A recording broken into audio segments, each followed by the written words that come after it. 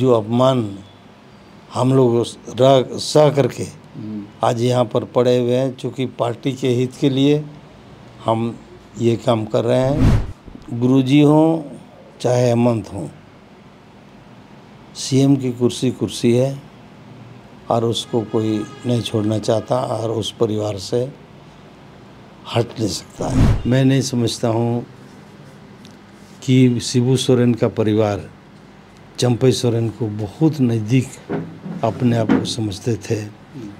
और विश्वासी और भरोसेमंद व्यक्ति के रूप में देखते थे। ये निर्णय चंपई जी का बहुत अच्छा है, बल्कि उनके पॉलिटिकल करियर के लिए निश्चित रूप से बहुत घातक है और अपने पैर पैर पर कुल्हाड़ी मरना है। लेकिन 2005 में तो आप भी जेबीएम पार्टी का निर्माण किए थे। हेमंत सोरेन को हरा दिए थे। लोग कर रहा आज तक उसी के चलते आपको मंत्री पद नहीं मिल पा रहा है। ये हम भी समझते हैं और महसूस किया है कि पार्टी ना टूटे पार्टी ना छोटा हो और पार्टी में किसी भी तरह का तोड़ भंग नहीं हो इसकी हम बराबर चिंता करते हैं। जेएमएम में गुरुजी के बाद सबसे सीनियर लीडर चंपई सोरेन अब भाजपा के हो गए हैं। तीसरे नंबर पर आने वाले स्टीफन मारांडी के पास हम आए हैं। ये जानने के लिए कि ये फैसला उनका कैसा रहा? क्या पक्ष में रहा, विपक्ष में रहा, या इनका जो व्यक्तिगत अनुभव है, उस रूप से कैसे देखते हैं? स्टीफन दा, अगर मान लीजिए चंपई दा को दो नंबर पे रखते, तीन नंबर पे तो आप हैं ही। हैं? ये फैसला कैसा रहेगा भविष्य में उनके लिए? देखिए, दूसरा में रहे, तीसरा में रहे। शिबू सोरेन के बाद उनके परिवार के लोग जो आज कुर्सी थमे हैं मैं नहीं समझता हूँ कि शिबू सोरेन का परिवार चंपई सोरेन को बहुत नज़दीक अपने आप को समझते थे।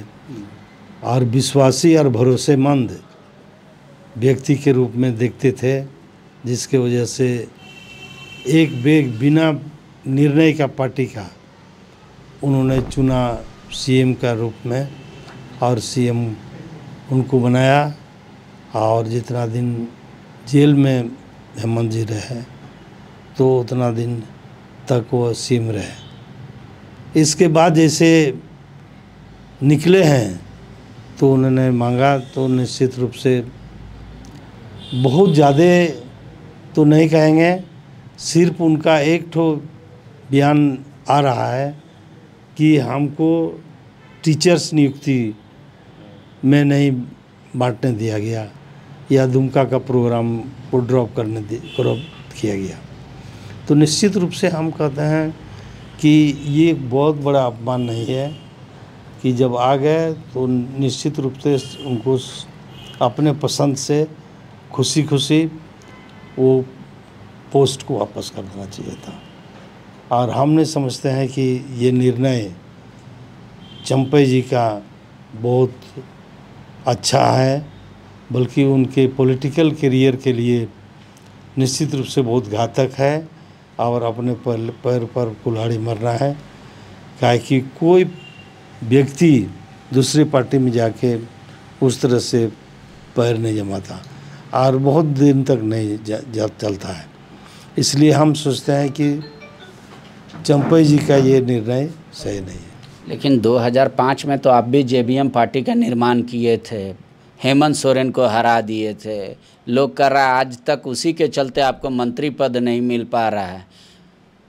मिनिस्टर विदाउट पोर्टफोलियो बना के रखा गया है। तो ये अपमान आपके लिए नहीं हो लेकिन चंपई दा को तो लग गया दिल से इसीलिए वो छोड़ के चले गए। देखिए ये हम भी समझते हैं और महसूस किया है कि पार्टी छोड़ के पार्टी बनाना उतना आसान नहीं है।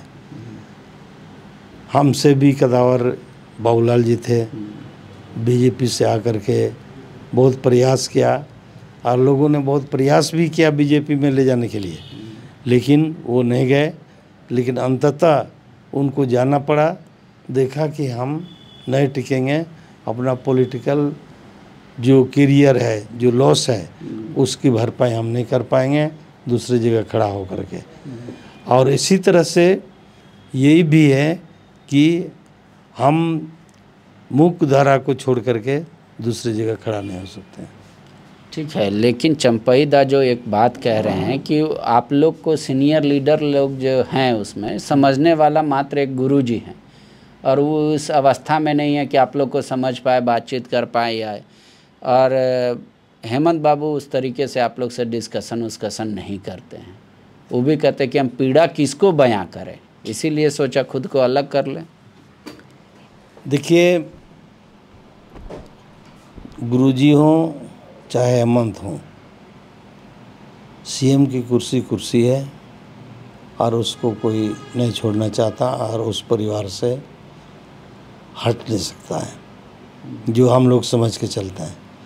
इसलिए जो अपमान हम लोग रह सह करके आज यहाँ पर पड़े हुए हैं चूँकि पार्टी के हित के लिए हम ये काम कर रहे हैं कि पार्टी न टूटे पार्टी न छोटा हो और पार्टी में किसी भी तरह का तोड़ भंग नहीं हो इसकी हम बराबर चिंता करते हैं।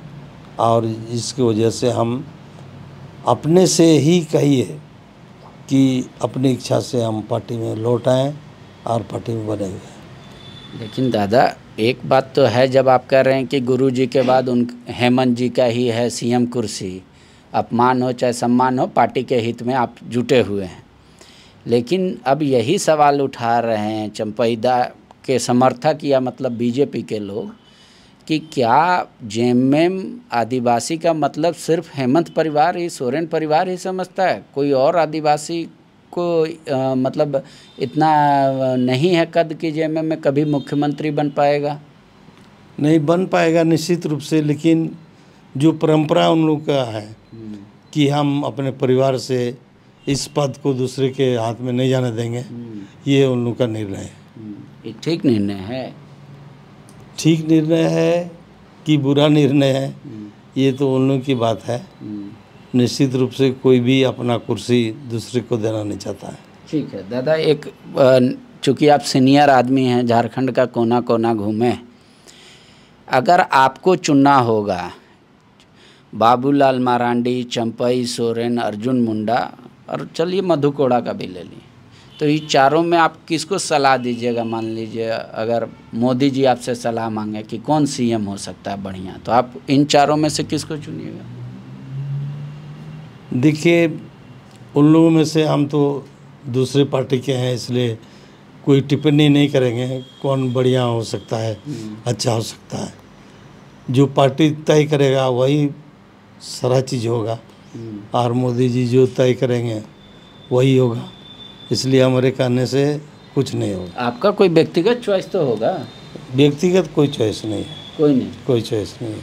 ठीक है एक आखिरी सवाल हम ले लेते हैं। कोल्हान में क्या आप बीजेपी मज़बूत हो जाएगी? आप चौदह का चौदह सीट जीते आपकी अलायंस वहाँ पे। एक अगर सरयू राय को छोड़ दे वो तटस्थ हैं।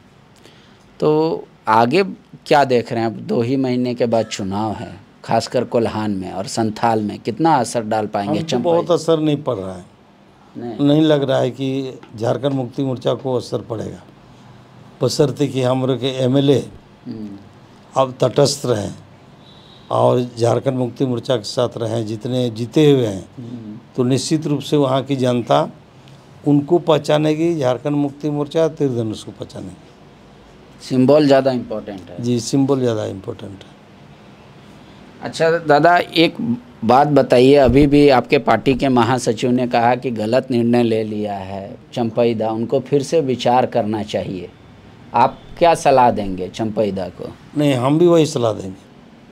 कि उनको ये विचार बदलना चाहिए और उस पर पुनर्विचार करना चाहिए अपने राजनीतिक जीवन के लिए जो उन्होंने किया है। अगर सही मायने में वो करना चाहते हैं राजनीति तो पुनः वापस आना चाहिए। और कोई एडवाइस है आपका बीजेपी के लिए खासकर? देखिए बीजेपी के लिए कोई एडवाइस हमारे पास नहीं है। जेएमएम के लिए? जेएमएम के लिए निश्चित रूप से उनको मनाना चाहिए हम्म, बात करना चाहिए। और बहुत सारा उदाहरण है यहाँ पर कि बीजेपी में जा कर के इनका जो वजूद है जो अभी दिख रहा है वो नहीं दिखेगा। लेकिन मान लीजिए माननीय नहीं बने थे पर उससे पहले विद्युत वरण महतो और अर्जुन मुंडा भी कोल्हान से आप ही के पार्टी से पाठशाला से पढ़ के गए। और वहाँ हेडमास्टर तक बने। तो इनको भी लग रहा होगा कि हम तो हेडमास्टर ऑलरेडी थे ही। हो सकता है चांसलर बने। निश्चित रूप से ये गलत निर्णय है? नहीं हो सकता है। देख रहे हैं और सब लोगों का भी क्या आश्रय है। और पार्टी क्या निर्णय लेगा तो ये तो बीजेपी समझेगा कि उसको किस जगह में रखेगा। शुक्रिया।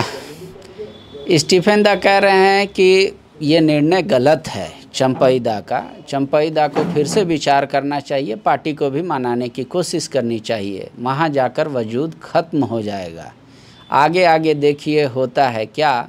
तीस तारीख को एकदम आधिकारिक तौर पे चंपईदा भाजपा के हो जाएँगे। और उसके बाद बीजेपी उनको कहाँ से लड़ाती है, किस पद के लिए लड़ाती है, वो भी देखना दिलचस्प होगा। शुक्रिया।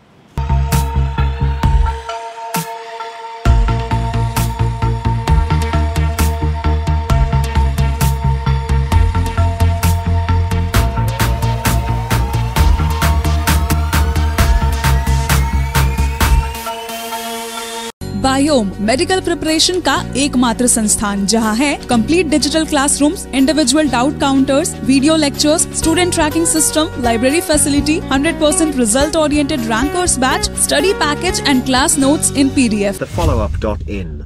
Like, share, and subscribe. www.thefollowup.in